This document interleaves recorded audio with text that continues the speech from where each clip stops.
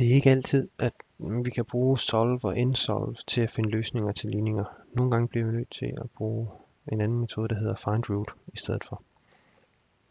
Vi kan lige prøve at se på et eksempel, hvor det er tilfældet.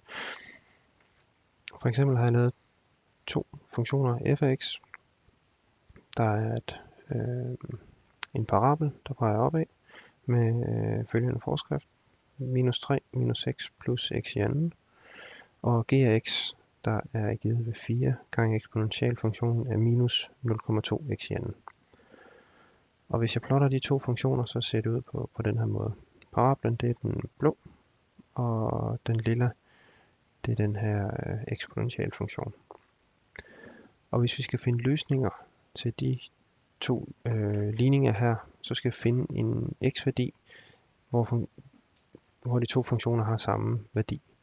Det vil for eksempel ske her omkring minus øh, 0,8 eller 1,8 minus 1,8 og her ved omkring 2,5. Men vi kan prøve at se om Solve kan, kan løse det her problem. Så vi vil gerne have, at f af x har samme værdi som g af x, og det er x, vi skal variere for at finde løsning. Og prøver vi det, så øh, kommer Mathematica og brokker sig over, at den ikke var i stand til at løse det, øh, fordi den ikke kan, kan nok matematik til at skrive et pænt svar med det. Nå, vi kan prøve noget andet i stedet for. Hvis Solve ikke kan løse det, så kan det være Insolve kan. Den giver trods alt numeriske løsninger. Øh, men det er også som om, at den, den ikke kommer videre end det. Og så den tredje mulighed, det er en, en der hedder find root. Hvor vi egentlig skriver tingene op, ligesom før.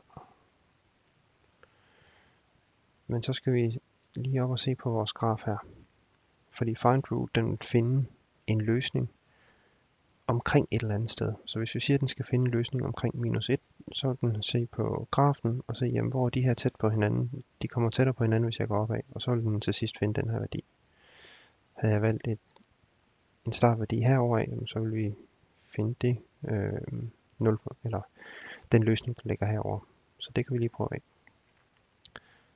Og den måde, vi angiver et startgæt på, det er ved at sige, at det er x-variablen, vi skal variere på, og vores startgæt det skal ligge omkring minus 1.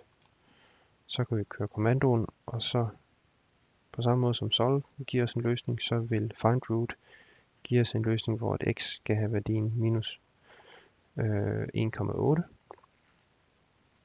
Og så kan vi selvfølgelig også lige prøve i den anden række retning.